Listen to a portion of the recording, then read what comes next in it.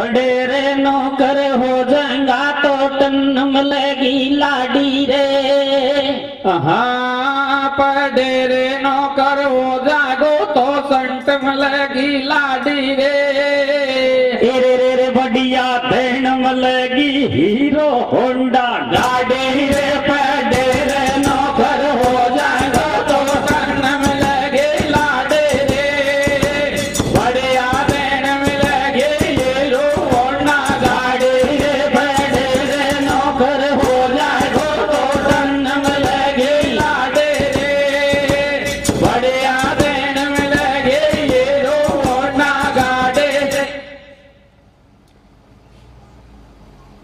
तो पटवाड़ा की सगाई हो जावा करे अब तो कह तो कोई नौकरी लग जाएगा तो सगाई की चर्चा चलेगी।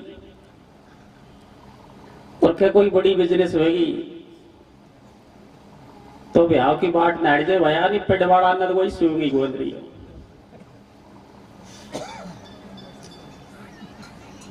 हर कोई की सोच होगी।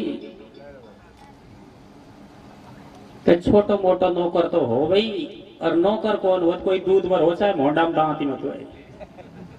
अब तो दूध भरन के पीछे पड़ेगी दुनिया।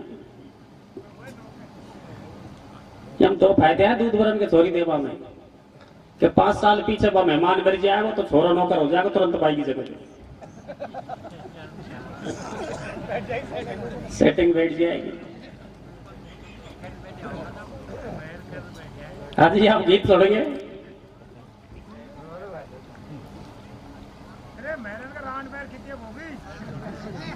तो मेहर मरेंगे जब रांड मेहर होगी, मेहर तो ज़िंदा है हाली रंड ज़रूर होगा बुआ मेहर की तैयारी। कोई व्यवस्था मत कर दीजिए।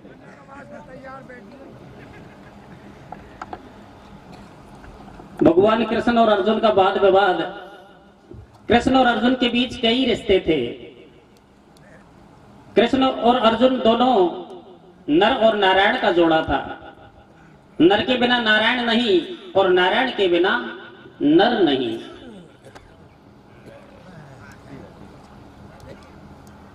अर्जुन अपने आप में एक धनुर्धारी वीर योद्धा था, लेकिन अर्जुन को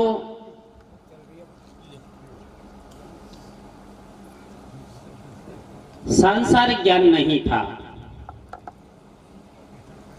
जैसे आज कहते हैं कि बिना शिक्षा के ये मानस जीवन अधूरा है। कोरी शिक्षा से काम नहीं चलता। किताबी ज्ञान से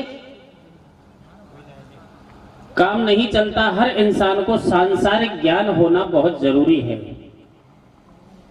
और जिस आदमी को सांसारिक ज्ञान हो जाता है, वह ज़िंदगी में कभी ठोकर नहीं खाता है। तो भगवान कृष्ण अर्जुन को सांसारिक ज्ञान कराने के वास्ते इस दुनिया का भ्रमण कराते हैं। क्योंकि सांसारिक ज्ञान की ना कोई कॉलेज होती, ना कोई स्कूल होती, ना कोई गुरु बनाया जाता। सांसारिक ज्ञान के लिए इंसान को अपना क्षेत्र और अपने घोंसले को छोड़कर दूसरी दुनिया में जाना पड़ता है।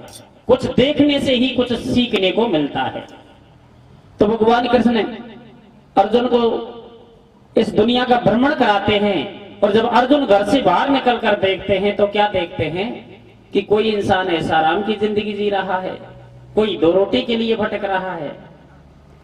अर्जुन ने कहा, कन्हैया, मैं इस दुनिया में मानव शरीर लेकर आया हूँ तो मानवता के पक्ष में बात पूछना चाहता हूँ कि इस दुनिया में कोई इंसान ऐसा ऐसाराम की ज़िंदगी जी रहा है तो कोई दो रोटी के लिए भटक रहा है, ऐसा क्यों हो रहा है? भगवान कृष्ण बोले, अर्जुन इसमें मेरा कोई हस्तक्षेप नहीं है। क्योंकि इंसान का जीवन कर्म के ऊपर आधारित है।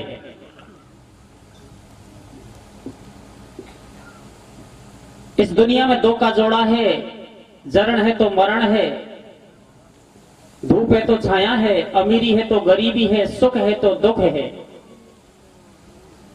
लेकिन जो इस इस दुनिया में आया है, उसे एक दिन इस दुनिया से जाना होगा। जाते समय उसके साथ क्या जाएगा? अगर कोई जान जाए तो कभी दुख नहीं पाएगा। बहुत से भाई कहते हैं ना कि इस दुनिया में आया है तो खाली हाथ, और जाएगा तो खाली हाथ। झूठी बात है। जब इंसान इस दुनिया में आता है तो अपना भाग्य साथ लेकर के आता है, और जब इस दुनिया से जाता है तो अपना कर्म साथ लेकर के जाता है। ना कोई खाली हाथ आता है, ना कोई खाली हाथ जाता है। तो कर्म के आधार पर हर जीव और हर इंसान सुख और दुख पाता है। अर्जुन की भी बात समझ में आई। आगे चल पड़े। फिर एक छोटे से शहर में एक गाँव में प्रवेश किया तो देखा उसमें छत्तीस कौम बसी हुई है। सभी जातियाँ विराजमान हैं। अपने अपने कर्म के अनुसार जीवन व्यतीत करते हैं, लेकिन अर्जुन के मन में फिर प्रश्न पैदा हुआ कन्हैया इन सभी जातियों में कौन सी जाति ऊँची है और कौन सी जाति नीची है? कृष्ण भगवान बोले, अर्जुन, मेरे देखने में तो कोई सी जाति ऊँची नीची नहीं है। सब जातियाँ एक समान है। नहीं कन्हैया, हम जातियाँ बराबर की नहीं हो सकती, क्योंकि इस बात को तो मैं खुद जानता हूँ। कृष्ण भगवान बोले, रे अर्जुन, जातियाँ कभी ऊँची नीची नहीं होती। ऊँचा होता है तो कर्म होता है और नीचा होता है तो कर्म होता है। कर्म ही इंसान को ऊँचा उठा देता है और कर्म ही इंसान को नीचा पटक देता है, जबकि जातियाँ किसी को ऊँची नीची नहीं दिखाती। न ही जाति ऊँची नीची होती है। अर्जुन इस बात पर कृष्ण भगवान से बहस करता है कि नहीं, हम जातियों में बहुत फ़र्क है। तो भगवान कृष्ण बोले, तू ही बता दे, तेरे देखने में कौन सी जाति ऊँची नीची है? अर्जुन झट से बोला, मेरे ही देखने में नहीं, संसार के देखने में भंगी की जाति सबसे नीची जाति है। सबकी झूठन खाती है, कीचड़ गंदगी में रहती है और भंगी के छिमने से एक पवित्रता पैदा हो जाती है। नाना नाना अर्जुन, तब तो बहुत दूर भूला अगर अंतर आत्मा से देखा जाए तो भंगी की जाति सभी जातियों में ऊँची है, उच्च श्रेणियों में ली जाती है। भंगी की जाति के ऊपर दोनों के बीच वाद विवाद हो गया। भगवान कृष्ण समझ गए कि अर्जुन के अन में, अर्जुन के मन में जो शंका है, मिटानी चाहिए, चुटकी बजाई और एक माया रूपी स्त्री एडवांस पानी भरने के लिए पनघट पर भेजी, जिसे भंगी का ही दर्जा दिया। और झगड़ते झगड़ते भगवान कृष्ण और अर्जुन उसी पनघट पर पहुँच गए, जहाँ एक पनिहारी पानी भर रही है और भगवान कृष्ण जाकर उस पनिहारी से ओक लगा करके पानी पीने लगे। खड़े खड़े अर्जुन उस पनिहारी का परिचय पूछने लगे कैसे? कैसे पूछ रहे भैया? ए रे ले खांसो आई रे यलवेली। कैसे? खांसो आई रे यलवेली तू कौन जात की रेवाड़ी रे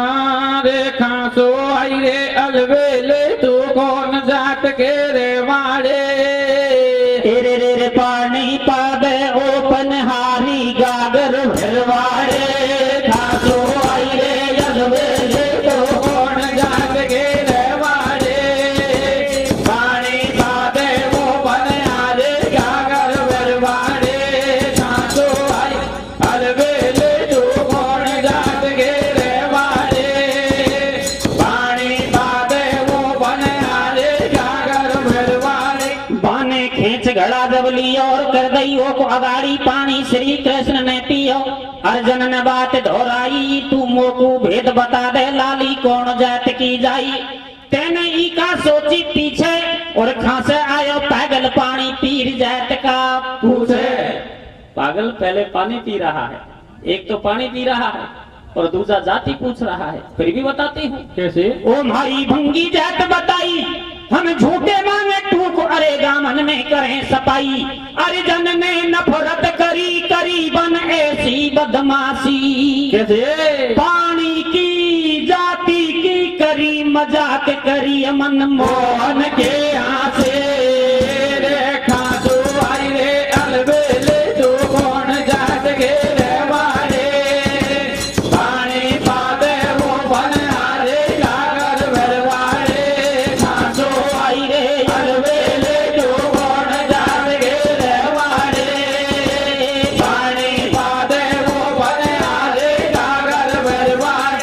जी भगवान कृष्ण ने तो बिना पूछे पानी पी लिया, लेकिन अर्जुन के पूछने पर मालूम चला कि पनिहारी जाति से बंगण है।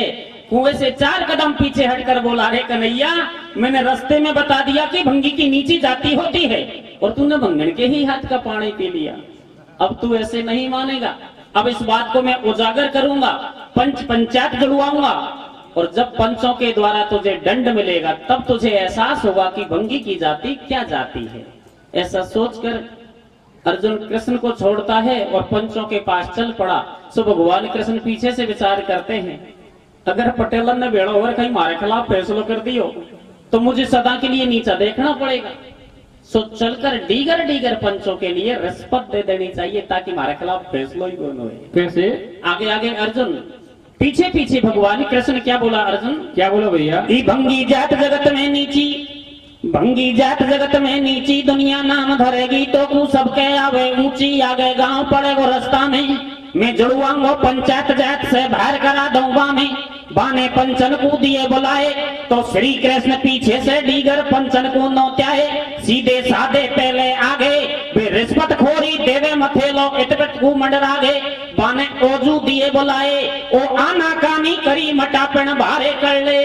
आए, पूछी काई बात को रगड़ो, या भंगन का पानी पीवा को केस बता दियो सबड़ो क्यों बकवाट लगावो लोगो भंगन का पानी पीवा से ऐसो कहीं होगो उल्टी बात करो मत बिरथा ऊंच नीच जाति की मारे है पहला की प्रथा बेआखन में करें इशारे और न्यायवीर तो एक बगल हो गए रिश्वत खोरी न्याय सब अपनी अपनी ठाणे और न्यायगीर तो न्याय करे फिर रिश्वत खोरो बिलारे ऐसे हैं ये पंच सबन की बात पर खिलाई है नहीं हुई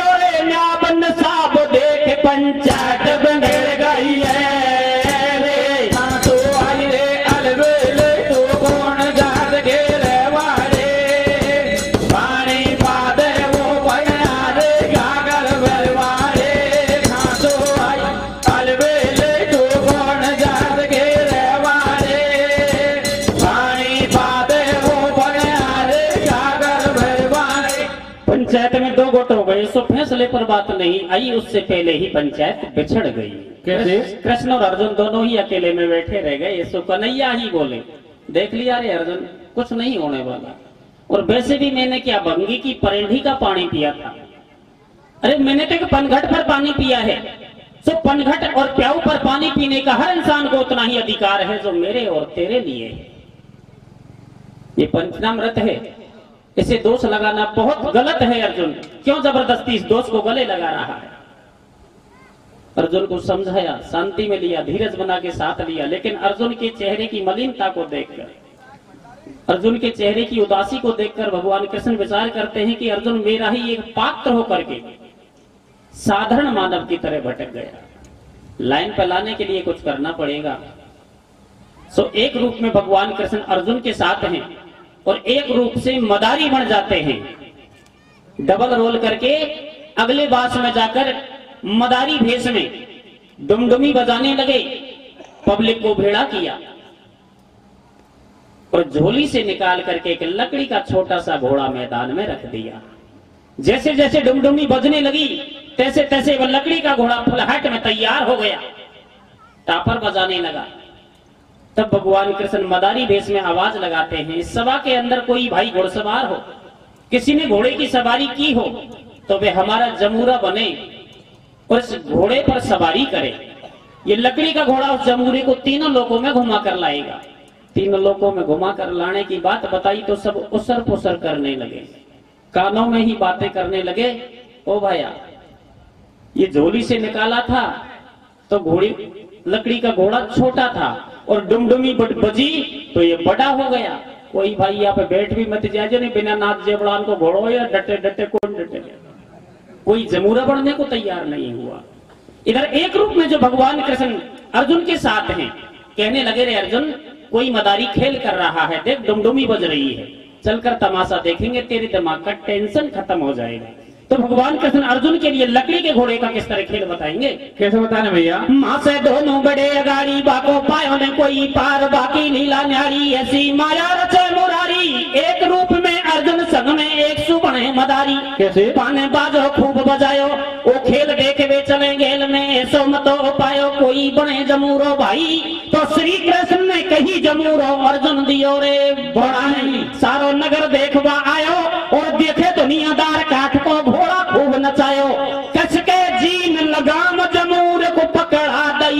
दई कर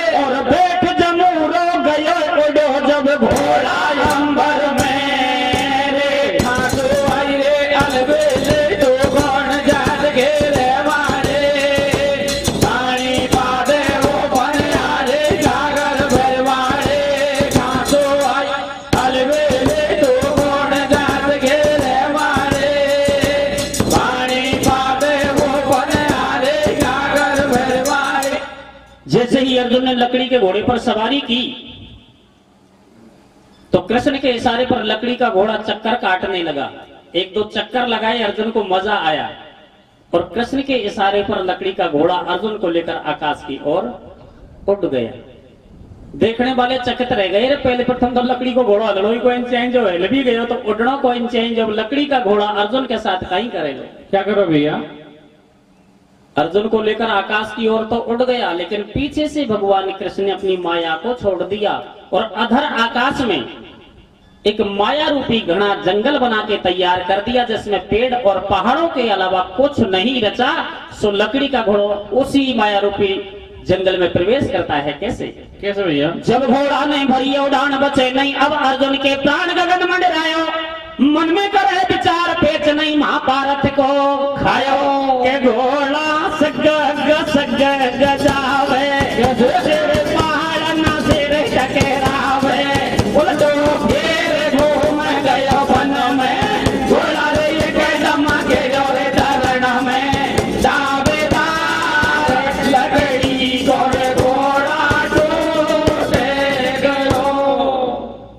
जैसे ही लकड़ी का घोड़ा और माया रूपी जंगल में प्रवेश करता है तो कभी पेड़ों से कभी पहाड़ों से टकरा टकरा करके ज़मीन पर गिरा गिरते गिरते बिखर गया टूट गया।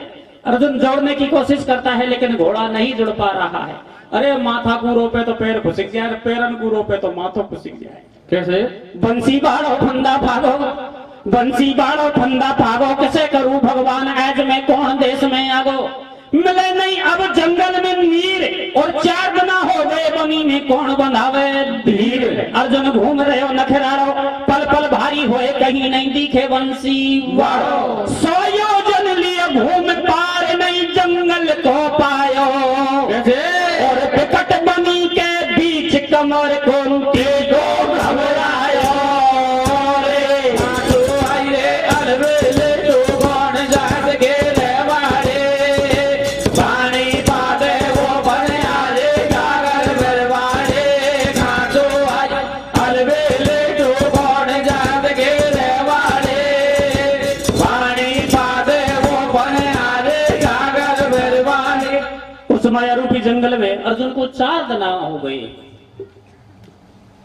बहुत भाग दौड़ की, लेकिन जंगल का कोई ओढ़ छेव नहीं आया। पेड़ हैं, लेकिन छाव नहीं है, पहाड़ हैं, पर पीने को कोई जल भी नहीं है।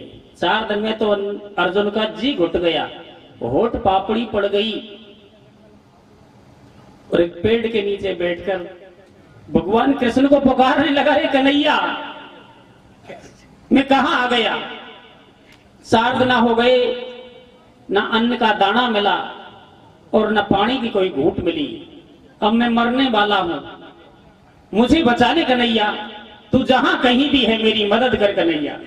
जब भगवान कृष्ण को पुकारा तो भगवान कृष्ण विचार करते हैं अर्जुन। अभी तो हुआ क्या है, होने वाला तो और आगे। अर्जुन भगवान कृष्ण को पुकार रहा है और इधर भगवान कृष्ण खड़े खड़े अपनी माया को बढ़ावा दे रहे हैं और उसी जंगल के अंदर एक सुंदर सी नगरी बसा रहे हैं। लेकिन उसमें भंगियों के अलावा और कोई दूजी जाति नहीं है। अचानक दिन छिपने को आया और दिन छिपने में उस माया रूपी नगरी में दीपक जलने लगे और दीपक के उजाड़े में अर्जुन को एक बुढ़िया नज़र पड़ी। सो विचार किया रे कांख में छोरो और गाँव में हेरो। मैं इस दिशा की ओर नहीं गया, नहीं तो ये गाँव पहले ही मिल जाता। एक बुढ़िया भी नज़र आ रही है, शायद पीने को पानी मिलेगा। कुछ खाने को भोजन मिलेगा। ऐसा सोचकर अर्जुन उस माया रूपी नगरी में प्रवेश करता है। कैसे? कैसा करो भैया? अर्जुन घूम बनी मेरी हो गए घूमत घूमत जाए एकदम नंगा दिए पे गई पार में त्रिलोकी को पायो और श्री कृष्ण ने बाई जंगल में सुंदर नगर बसायो। मेहतर बसा नगर के बीच जोड़ा दिए देवला। कुंती सुत अर्जुन को एकदम नंगा पड़ी एक अबला अर्जुन बोले मीठी पानी और मोको लग रही भूख डोकरी ठंडो पादे पानी। ओजी अर्जुन भूख प्यास में इतना सताया हुआ था कि जैत पैत कौन पूछी डायरेक्ट रोटी पानी के लिए बोला। बुढ़िया ने कहा रे अंदर आओ भोजन करो पानी पियो। कैसे?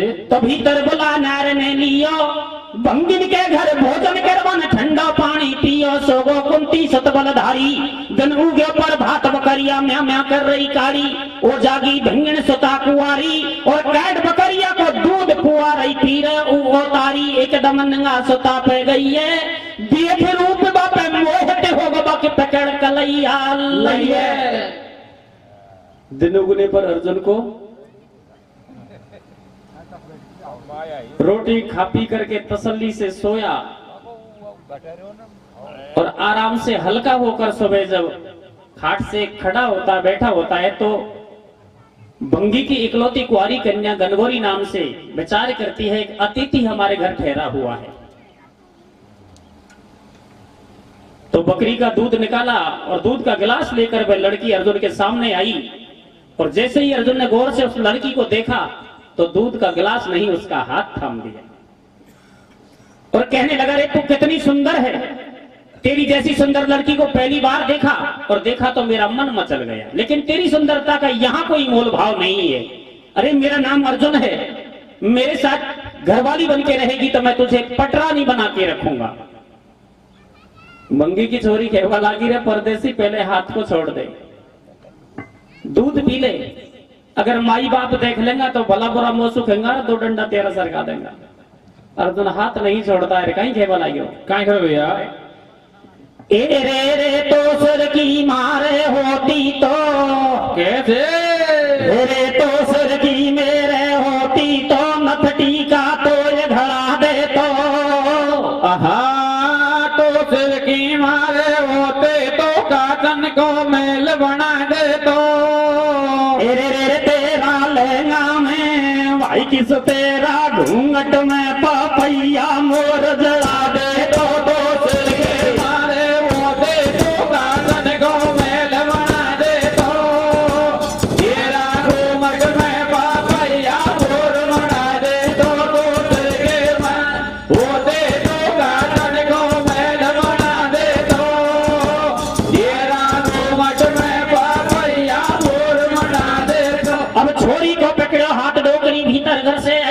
कैसे अर्जुन के हाथ में तो गनगोरी का हाथ थमा हुआ था। अचानक गनगोरी की माँ भंगड़ अंदर से बाहर निकलती है, बेटी के हाथ को परदेसी के हाथ में थमा देखती है तो आग बबूला हो गई। एकदम गुस्से में भर गई रे परदेसी बाई, आड़ी में खैर बाई में टेक कर रही हो। अरे तो रोटी खुआई सुबह खाट बिछाई रे, छोरी को हाथ पकड़ दियो गुस्से में भर के गनगोरी की माँ जब अर्जुन के सामने आती है और जब गौर से बेटी और परदेसी को देखती है तो गुस्सा एकदम ठंडा हो गया। अरे, ये परदेसी जब रात अंधेरी में आया तो सही तरह से हम शकल नहीं देख पाई। गौर से देखा जाए तो राजकुमार जैसा लग रहा है। मेरी बेटी के समान सुंदर इस दुनिया में ना किसी पुरुष को देखा, ना ही किसी स्त्री को देखा। और ये परदेसी तो मेरी बेटी से भी सवाया दोगुना, शोभायमान दिखाई दे रहा है। अरे, हमारा बंगी छह महीने का छोरी को ठिकानो देखता, डोदरी अब कई ठिकानो को पायो। ऐज राम जी ने घर बैठे ही सर को मेहमान भेज दियो। ये बात यार बंगी को बताई तो दोनों का फेरा पड़वाई तू। ऐसा सोचकर भंगड़ भागती हुई बंगी के पास जाती है कहीं खेवा लगी काय करे भैया? छोरी को पकड़ो हाथ डोकरी भीतर घर से आई और मन में राज़ी हुई जय न्यो भंगी से बतलाई हमसे हुयो राम जी राज़ी। छोरी को मिल गो बलम आज तू बेगो कर दे शादी। कहीं नहीं पावे ठोर ठिकानो और ठोर ठिकानो मिले मिले माँ छोरा गए भी कानो कोई गायन को गे वाड़ो कोई रंग को रंगो काड़ो। ई तो है सो बैल के भारो और गनगोरी के दिल में बस गो आगे ऊपर बारो बोल महाराज ऐकन से देखे? यू मेहमान ज़ोर को है और छोरी राज़ी तू तो फेरा बारदा का राम करेगा सो होगी कैसे? तो छोरी बुला बाप ने लइए और मन की पूछी बात भमरिया पैर सुता की दइए। फेरा दिए पैर जात को पतो नहीं भाई। कैसे? ओ पानी की अरे जाति की नफरत करी रे भमरिया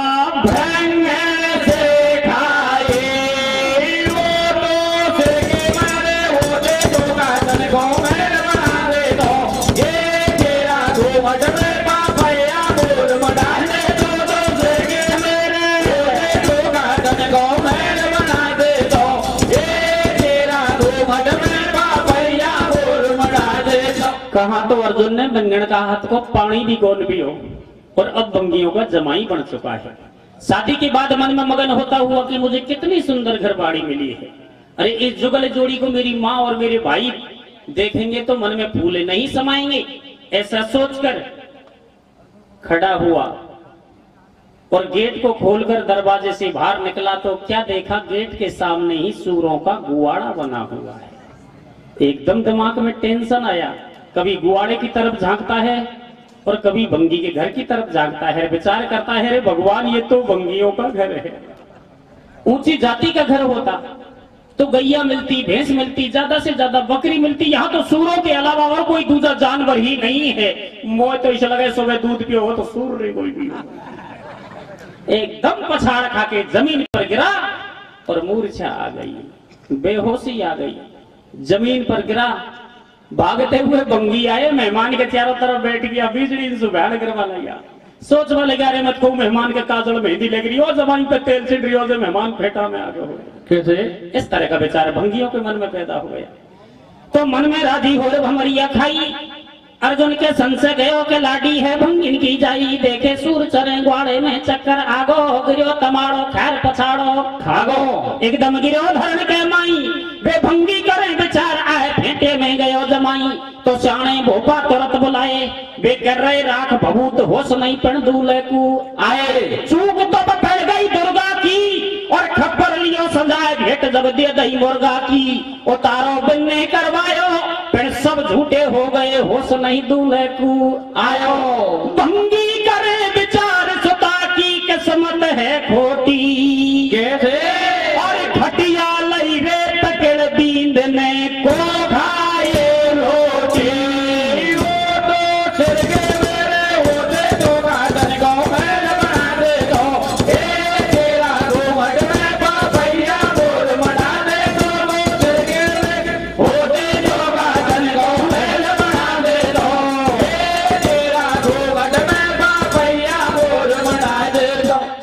सटेटा सियाणा भोपा फैल हो गया, लेकिन अर्जुन को होश नहीं आया।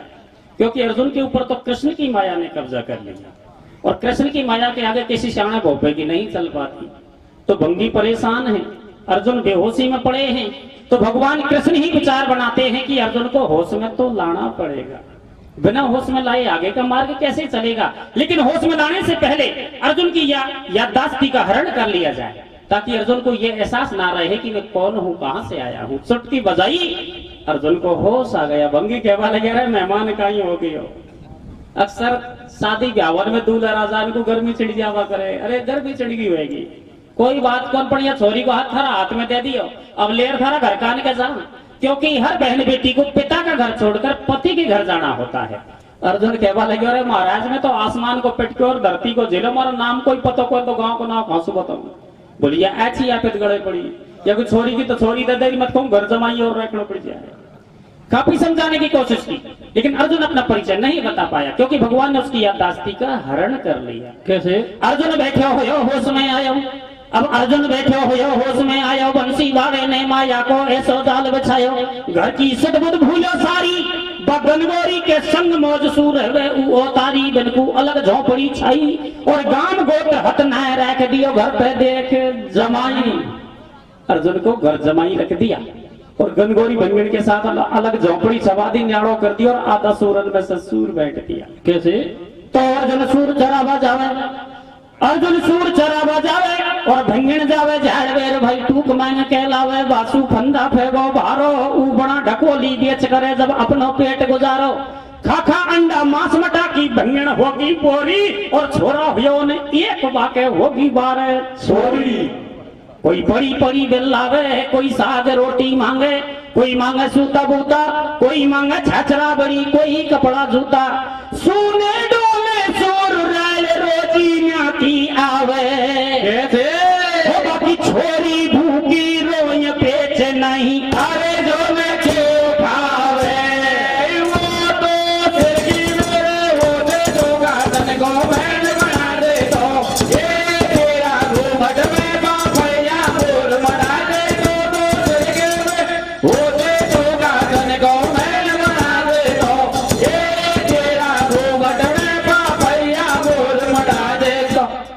अर्जुन का परिवार बढ़ गया, बारह बच्ची पैदा हो गई। और घर में गरीबी प्रवेश कर गई। इस बात को आप सब जानते हैं, परिवार बढ़ता है तो गरीबी ज़्यादा ज़ोर लगा हुआ है। आज का युग में तो एक बेटी भारी पड़ रही है, जो अर्जुन के घर में तो बारह बेटी पैदा हो गई। न सूरों को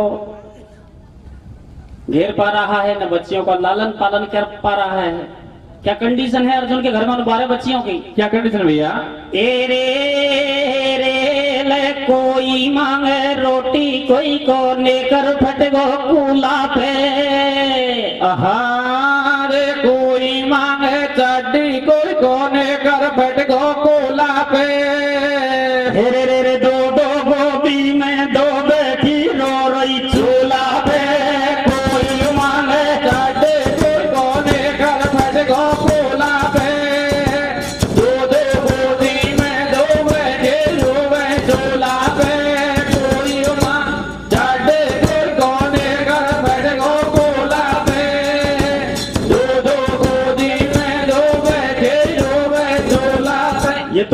इसलिए कहा है कि छोटा परिवार सुखी परिवार।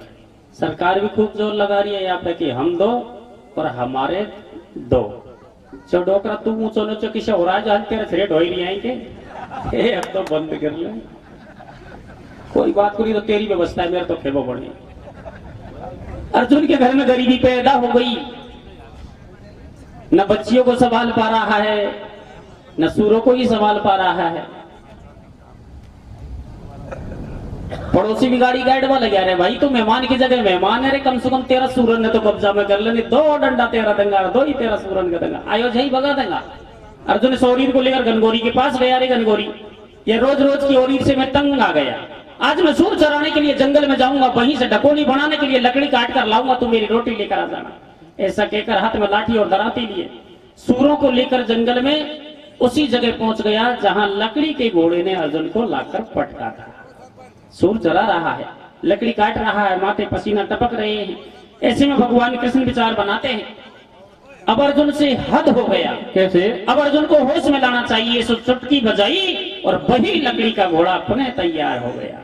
और जैसे ही लकड़ी का घोड़ा टापर बजाते हुए अर्जुन के सामने से गुजरता है तो घोड़े को देखते ही अर्जुन की याददाश्ती वापस आ जाती है।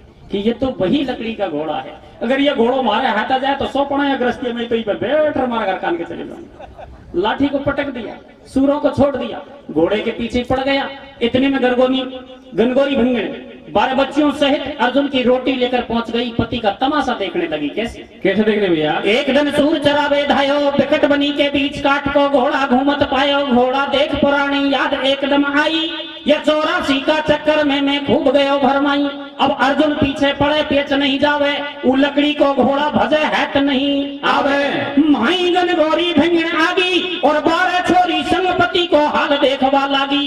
तो घोड़ा पकड़ वीर ने लियो और मैं मेरे घर को जाऊँ ऐसो बचन नार से कियो। कि तू तो मज़ा मेरी ज़ोर मैडम कैसे कैसे? तू तो मज़ा मेरी ज़ोर मैडम में गिर कान के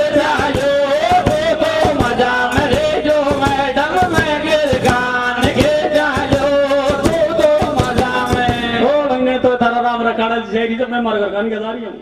गंगड़ ने छोरी को अच के ये सार दिया छोरियो या ने पुतो अपान को छोड़ जाएगा तो मारा थारो पेट कोड़ भरेगो अरे मैं तो ई का पाँव के लपट जाऊँ तुम मारा पाँव के लपट जाओ कैसे? अर्जन हुयो सवार उड़ो जब घोड़ा मतवाड़ो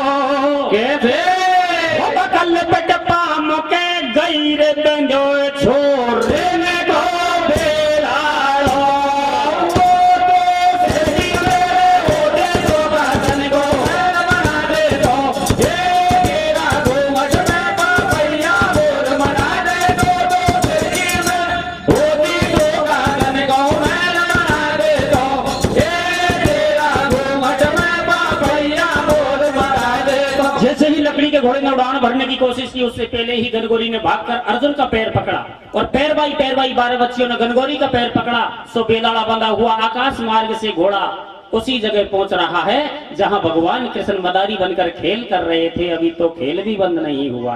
कैसे? जब घोड़ा ने भरी उड़ान घूम तो जावे मखरे मदारी, खेल तमाशो देखत दुनिया पावे, कर दियो खेल बंद, मेरे भाई, दुनिया अपने घर को धाई बोलो का ना बंसी बाड़ो, और साची खेदे, अर्जुन तेने या कहीं करो रे? करो ओ अर्जुन, तू तो घुड़सवारी करने को गया था। इस गृहस्थी को कहाँ से ले आया? सो अर्जुन कुछ नहीं बोला और सिर झुका के खड़ा रह गया। सोचने लगा, कन्हैया, यहाँ तो तेरा खेल भी बंद नहीं हुआ और वहाँ मेरी ये शादी हो गई, बारह बच्ची पैदा हो गई, कुछ समझ में नहीं आ रहा। इतने में गनगोरी भिंगड़ बीच में आकर कहवा लगी रे महाराज जी, कछु ना बताएगा, मैं बताती हूँ सारी बातों को। जानो नो गनगोरी बोली, जानो नो गनगोरी बोली, बाने पोल सटाटी खोली, मेरे संग में बारह छोरी, मैं भंगिन की जाई, मेरे संग करी बर जोड़ी, अब ई वो डोले किसे करूँ महाराज? आज वो सुमोंडा सु को बोले। मैं तो कैट जमारो लेती पर बारह छोरी संग बता मैं इनको खा कर देती। महाराज, में गनगोरी नाम से बंगी की इकलौती कुआरी कन्या, ज़बरदस्ती मेरे साथ उसने शादी की।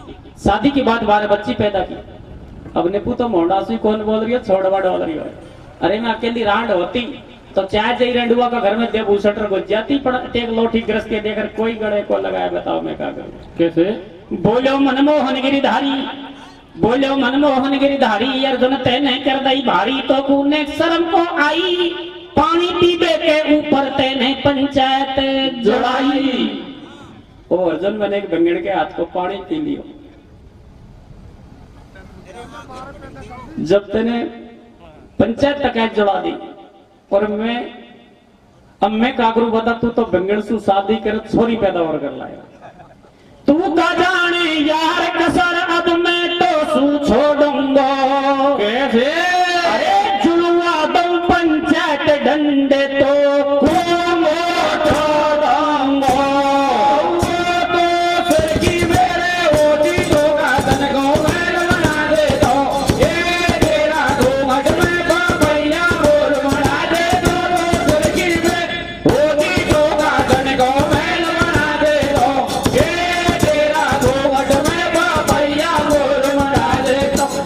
भगवान के चरणों में गिर गया।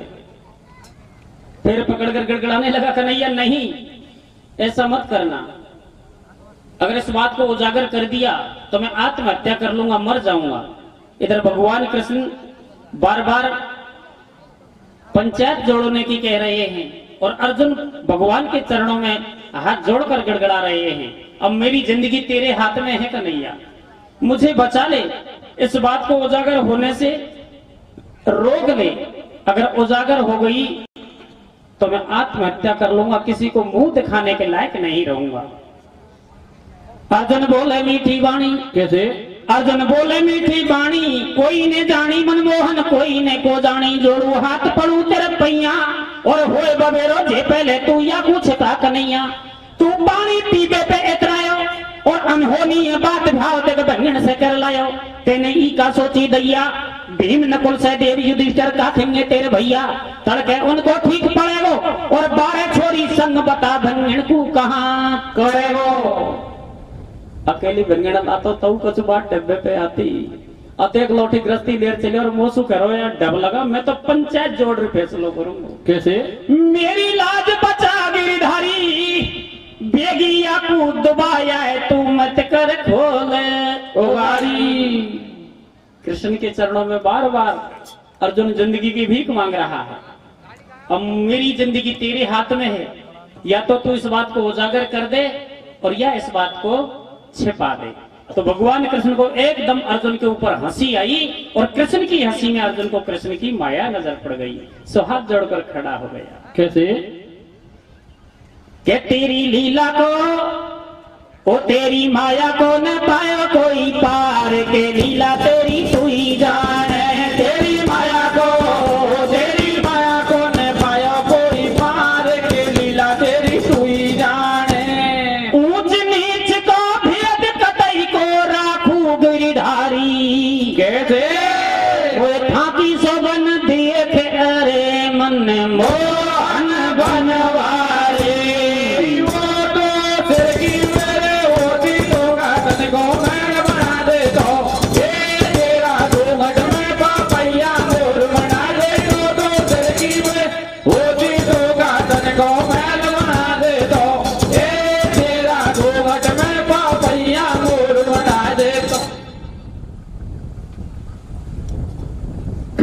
हँसी में अर्जुन को जब माया नज़र पड़ी तो जान गया ये तो भगवान कृष्ण की माया है।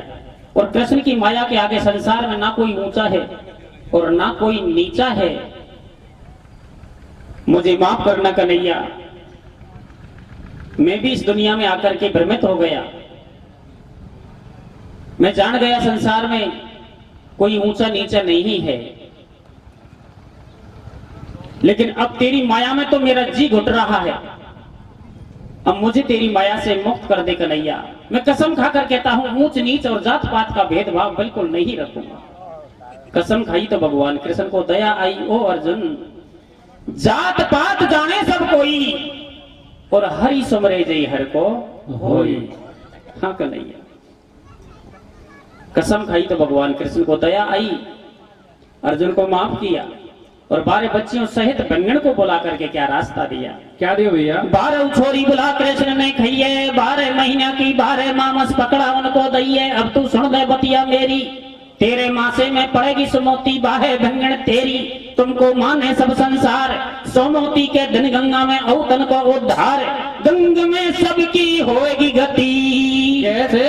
अरे ऊंच नीच दे छोड़ करो सब। ईश्वर